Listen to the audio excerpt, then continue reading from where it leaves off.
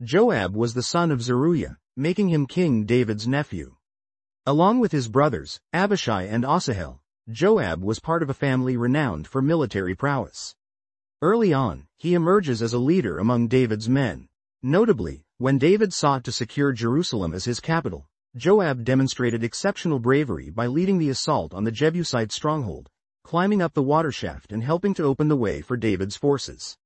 As a result, David appointed Joab to be the chief and head of his army, a position of high trust and authority. His appointment to this role did not just reflect military skill, it indicated a certain measure of dependability that David saw in him at the time. Jehovah's Witnesses, turning to the scriptural accounts, note that Joab's service under David was marked by acts of both commendable courage and questionable morality. On the positive side, Joab repeatedly proved himself as a strategic commander. Under his leadership, Israel won decisive victories over Ammonites, Edomites, and Syrians. In 2 Samuel chapter 10, for instance, Joab's careful strategizing and courage under fire were integral in dealing with Israel's enemies on two fronts. He displayed a capacity to think quickly, maintain discipline, and rally his troops in challenging situations, all of which helped stabilize David's kingship and promote relative peace and security for the nation. At the same time, Jehovah's Witnesses point out that the biblical accounts are candid about Joab's moral failings. The scriptures do not gloss over the darker side of his character.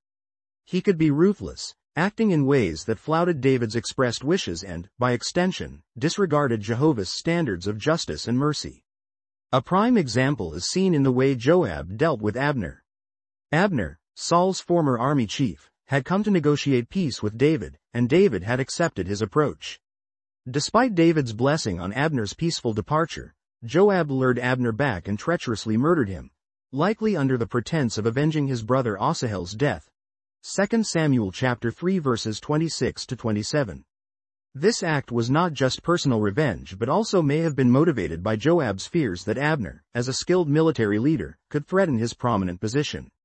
David publicly lamented this crime and made it clear that he was not complicit in it, leaving Jehovah to judge the wickedness of the deed. Another disturbing episode involves Amasa, whom David had appointed as head of the army in Joab's place to unite the kingdom after Absalom's revolt. 2 Samuel chapter 19 verse 13, 20, 4 to 10. Joab's reaction to this demotion was not submissive. Under the guise of friendly concern, Joab deceitfully confronted Amasa and murdered him. This was another act of raw expedience, Joab eliminating a rival to maintain his own grip on power. It showed that Joab's sense of loyalty to David had limits, especially when it collided with his own ambitions or sense of personal security. Moreover, Jehovah's Witnesses recognize that while Joab was a staunch ally to David during much of his reign, he did not remain loyal when it came to securing the succession of the kingdom as David's life waned. Toward the end of David's life, Joab aligned himself with Adonijah, who attempted to seize the throne even though David had sworn that Solomon would succeed him. By supporting Adonijah instead of Solomon, who was Jehovah's choice for the next king, Joab undermined the divine arrangement. 1 Kings chapter 1 verses 5 to 7. In doing so, he effectively turned his back on the proper channel of authority that Jehovah had established through David and would establish through Solomon.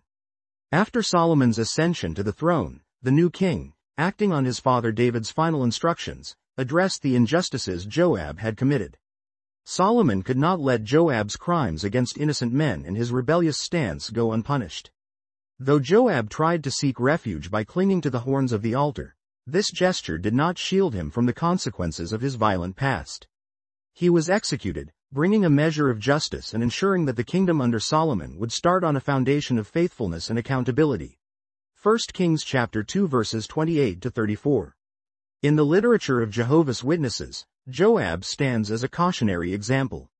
On one hand, his life demonstrates that great skill, bravery, and even initial loyalty do not guarantee lasting divine favor if those qualities are overshadowed by unbridled ambition, treachery, or a disregard for Jehovah's standards. He reminds readers that true loyalty to God's arrangements cannot be compartmentalized, one must respect not only God's anointed king, in that era, David and then Solomon, but also uphold God's moral principles consistently. Joab repeatedly failed on that latter point, making him a tragic figure rather than a heroic one in the scriptural narrative. J.W. Org's materials often emphasize the lessons that can be drawn from such accounts. The story of Joab encourages personal reflection. Are we tempted to use cunning or deceit to protect our own interests? Do we prioritize human authority or our own ambitions above loyalty to Jehovah's arrangement? Joab's life can help readers appreciate the importance of integrity, obedience, and faithfulness, virtues that must guide our actions if we are to remain in God's favor. Indeed, while he showed courage on the battlefield, Joab ultimately fell short of the moral courage required to abide by righteous principles when it mattered most.